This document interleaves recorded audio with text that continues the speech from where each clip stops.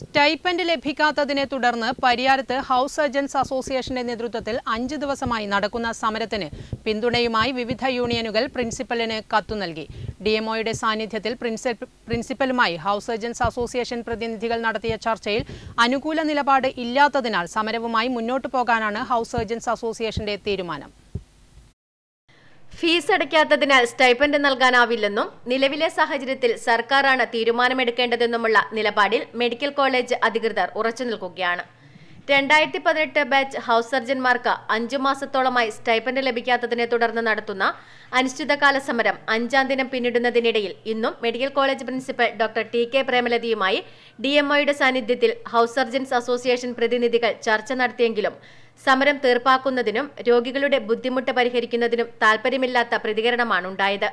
ഈ സാഹചര്യത്തിൽ സമരം ശക്തമായി തുടരാനാണ് ഹൗസ് സർജൻസ് അസോസിയേഷൻ തീരുമാനിച്ചിരിക്കുന്നത്.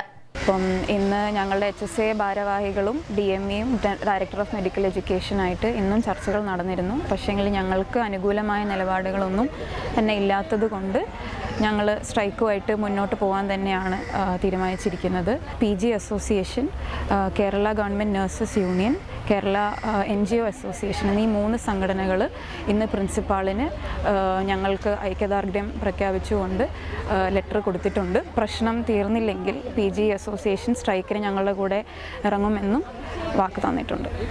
അതേസമയം സമരത്തിന് പിന്തുണ അറിയിച്ച് P G association government nurses union N G association എന്നീ സംഘടനകൾ പ്രിൻസിപ്പലിന് കത്ത് നൽകി.